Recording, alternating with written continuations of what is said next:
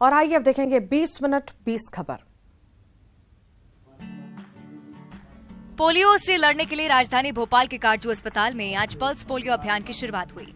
Polio मुक्त प्रदेश को लेकर यह अभियान भोपाल से काटजू अस्पताल सहित प्रदेश के 16 जिलों में चलाया गया।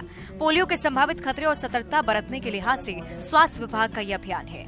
और इस दौरान स्वास्थ्य मंत्री प्रभुराम चौधरी मौजूद रहे। स्वास्थ्य मंत्री प्रभुराम चौधरी ने इस दौरान अपने हाथों से बच्चों को पोलियो की दवा पिलाई।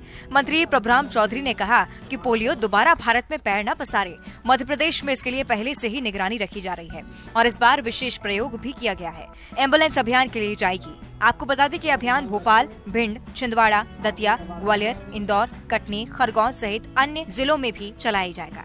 अर्बन सिटी और पिछले अभियानों में रह गए इलाकों में भी चलेगा। और इस अभियान के शुरू होने से बच्चों में बढ़ रहे पोलियो के केसेस में कमी आएगी।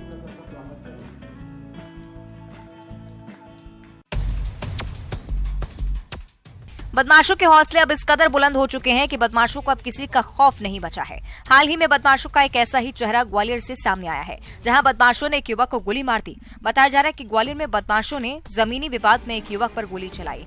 बताया ये भी गया है कि बदमाश कार में सवार होकर आए थे, उन्होंने युवक को गोली मारी। युवक जब तक कुछ समझ पाता, तब तक बदमाश उसे गोली मारकर फरार हो चुके थे। युवक गंभीर हालत में अस्पताल में फ़िलहाल भर्ती है। ये घटना झांसी रोड थाना के बरुआ गाँव की बताई जा रही है। पुलिस ने इस पूरे मामले में लोगों से पूछताछ के बाद बदमाशों की तलाश शुरू कर दी है।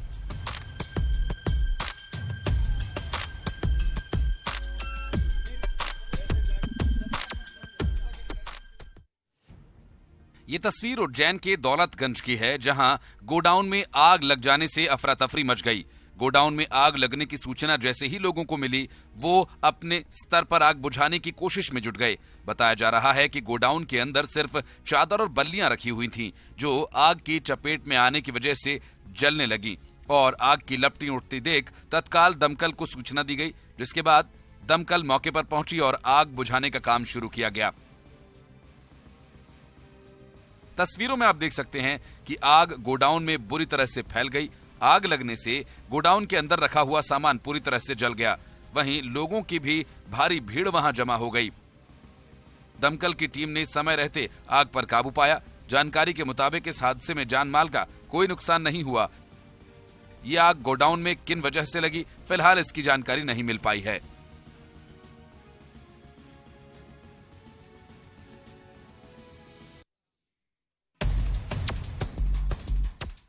बदमाशों के हौसले अब इस कदर बुलंद हो चुके हैं कि बदमाशों को अब किसी का खौफ नहीं बचा है। हाल ही में बदमाशों का एक ऐसा ही चेहरा ग्वालियर से सामने आया है, जहाँ बदमाशों ने एक युवक को गोली मार दी। बताया जा रहा है कि ग्वालियर में बदमाशों ने जमीनी विवाद में एक युवक पर गोली चलाई। बताया ये भी गया है कि बदमाश कार में सवार होकर आए थे, उन्होंने युवक को गोली मारी। युवक जब तक कुछ समझ पाता, तब तक बदमाश उसे गोली मारकर फरार हो चुके थे।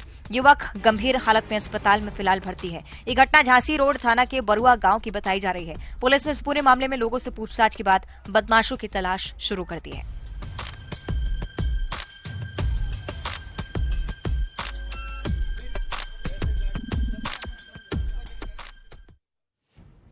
कोरबा पुलिस ने मानवता की मिसाल पेश करके एक पिचासी साल की बुज़ुर्ग महिला को सकुशल अपने घर पहुँचाया है। इस जमाने में जहाँ लोग सोशल मीडिया का इस्तेमाल गलत कामों के लिए करते हैं, ऐसे में पुलिस ने सोशल मीडिया की मदद से ही बुज़ुर्ग महिला को अपने घर पहुँचाया। भीषण गर्मी में भटकी हुई बुज़ुर्ग महिला की मदद करके पुलिस ने एक सराहनीय काम किया है। दरअसल कोरबा में भटक कर आई बुज़ुर्ग के लिए पुलिस ने सोशल मीडिया के ज़रिए अभियान चलाया और सोशल मीडिया से मिली मदद के ज़रिए महिला के परिवार को कुछ ही समय में खोज निकाला। और उसे सकुशल डायल 112 टीम ने रजगामार थाना इलाके के बुंदेली गाँव पहुँचाया। बताया जा रहा है कि महिला मानसिक रूप से परेशान थी और अपना पता बताने में असमर्थ थी, लेकिन पुलिस के प्रयास के चलते वो परिजनों से मिल गई। पुलिस के इस सराहनीय कार्य की हर तरफ़ प्रशंसा हो रही है।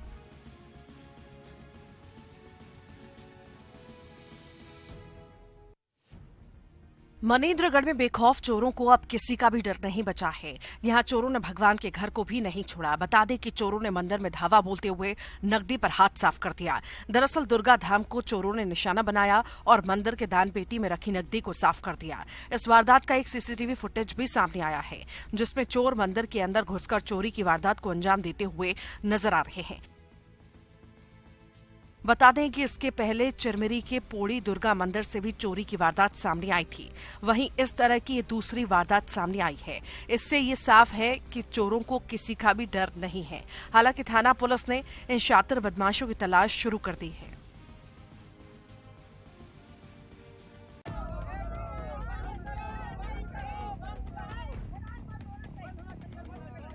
गरियाबंद में हो रहे अवैध रेत खनन को रोकने के लिए ग्रामीण सड़क पर उतरे और जमकर प्रदर्शन किया। अवैध रेत खनन की रोकथाम के लिए बड़ी संख्या में ग्रामीण खनन वाली जगह पर पहुँचे और जमकर हल्ला बोला और अवैध खनन को रोकने की मांग की।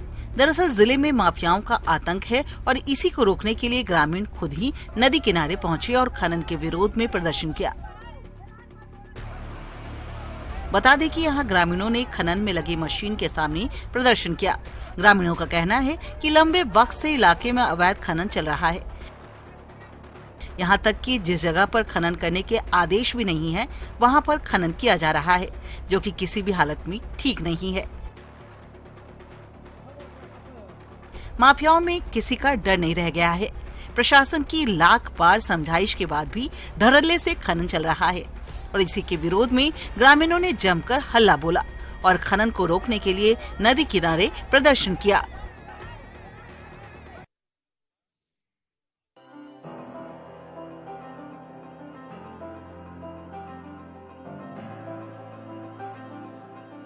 लंबे समय से जो यात्री कम ट्रेनों की परेशानी से जूझ रहे थे, उनके लिए रेलवे ने जगदलपुर में बड़ी सौगात दी है। बता दें कि अब से कोटपार स्टेशन पर तीन यात्री ट्रेन रुकेगी, जिससे कि यात्रा करने वाले यात्रियों को काफ़ी हद तक राहत मिलेगी। बता दें कि इस जगह के लोग लंबे समय से यात्री ट्रेन बढ़ाने की मांग कर रहे थे। यात्री ट्रेनों की कम संख्या होने से लोग काफ़ी परेशान चल रहे थे, जिसके बाद अब जाकर इन लोगों की समस्या को समझते हुए रेलवे बोर्ड ने संज्ञान लिया और राउरकेला नाइट एक्सप्रेस और हीराखंड एक्सप्रेस ट्रेन के स्टॉपेज को यहाँ के लिए मंजूरी दी गई हालाँकि इन ट्रेनों का स्टॉपेज कब से शुरू होगा और लोगों को कब से ये सुविधा मिलेगी, इसके लिए अभी कोई तारीख सामने नहीं आई है। बताया जा रहा है कि ईस्ट कोस्ट रेलवे जल्द तारीख की घोषणा करेगा। एक बात तो तय है कि रेलवे के इस फैसले से यात्रा करने वाले लोगों को काफ़ी हद तक राहत मिलेगी।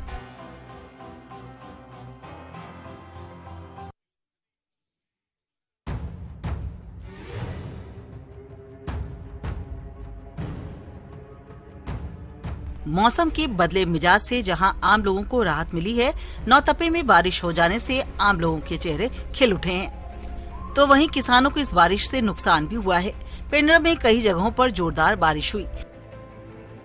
इस बारिश से जहाँ आम लोगों को राहत मिली है तो बारिश में तेंदुपत्ता संग्राहक और किसानों को नुकसान भी हुआ है। असमय हो रही बारिश से तेंदुपत्ता संग्रहण में भारी कमी आई है। बता दें कि खुले मैदान में तेंदुपत्ते का संग्रहण किया जाता है और ऐसे में बेमौसम हो रही बारिश के चलते तेंदु के पत्ते खराब होंगे। जानकारी के अनुसार अभी बारिश का दौर खत्म नहीं होने वाला है। मौसम विभाग ने अगले दो दिन तक और बारिश होने की संभावना जताई है।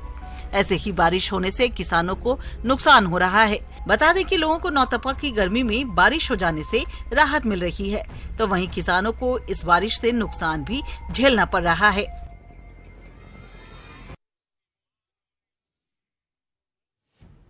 जशपुर ज़िले में सूखते नदी नालों के चलते गिरता जल स्तर। भीषण गर्मी में जिलेवासियों के लिए परेशानी का सबब बना हुआ है।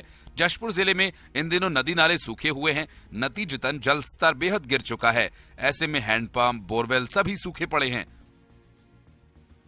इस भीषण गर्मी में लोगों के सामने जल संकट बड़ी समस्या बना हुआ है, जहाँ जल संवर्धन और संरक्षण के लिए पूरे साल कई अभियान चलाए जाते हैं, लेकिन अधिकारियों की उदासीनता के चलते जमीनी हकीकत कुछ और ही है। बारिश के पानी को संरक्षित करने के लिए विशेष पहल नज़र नहीं आती तो वहीं रेन वाटर हार्वेस्टिंग सिस्टम का शासकीय भवनों या नगरीय निकायों के भवनों में आज भी अभाव है। ऐसे में गिरते जल स्तर को रोकने में कारगर साबित होने वाला बारिश के पानी का संरक्षण ज़िले में बिल्कुल भी नज़र नहीं आता। और अब आलम यह है कि जिलेवासी पानी के लिए तरस रहे हैं। बहरहाल, सूखते नदी नालों के बीच गिरता जल स्तर रोकने का काम जल संरक्षण ही एक उपाय है। वनांचल जशपुर में बारिश के पानी को संरक्षित करने के लिए धरातल पर प्रशासनिक पहल हो तो शायद जल संकट से लोगों को राहत मिले। फ़िलहाल इस भीषण गर्मी में जिलेवासियों को जल संकट से राहत और प्रशासनिक अधिकारियों को ज़िम्मेदारी का एहसास कब होगा, ये देखने वाली बात होगी।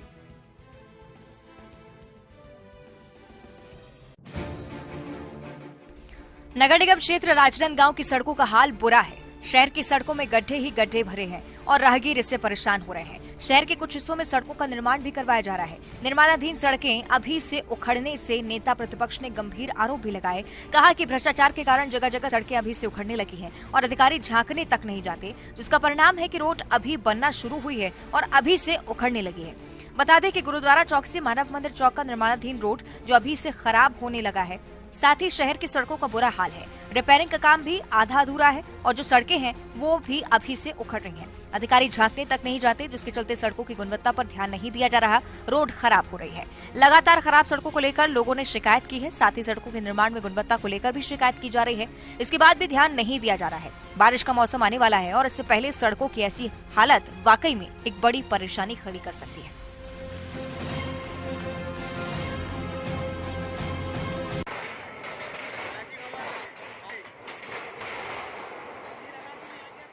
ये पक्के निर्माण दरअसल अवैध है। लिहाजा अतिक्रमण के खिलाफ अभियान जारी है। तस्वीरें मध्य प्रदेश के बुरहानपुर ज़िले की, जहाँ अवैध कब्जे पर नगर निगम की टीम ने कार्रवाई की। पूरी तैयारी के साथ अतिक्रमण हटाने की टीम बुलडोजर के साथ मौके पर पहुँची थी। इसके बाद अतिक्रमण हटाने की तैयारी शुरू कर दी गई। दरअसल शहर के पुष्पक बस स्टैंड के पास पेट्रोल पंप के लिए ज़मीन खाली थी। इस पर अवैध रूप से अतिक्रमणकारियों ने दुकान बना ली।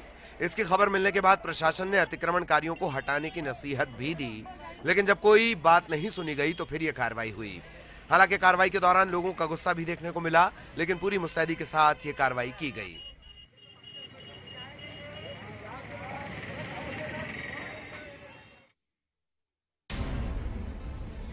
शांत स्वभाव वाले हाथी आजकल अपना डेरा तोरेंगा इलाके में डालकर बैठे हैं और कुछ दिनों से हाथियों के तांडव मचाती हुई कई तस्वीरें भी सामने आई हैं, जिससे कि लोगों में इस जीव को लेकर डर बैठ गया है। तोरेंगा इलाके में एक दो नहीं, बल्कि पूरे चौंतीस हाथियों ने यहाँ हाहाकार मचाया हुआ है।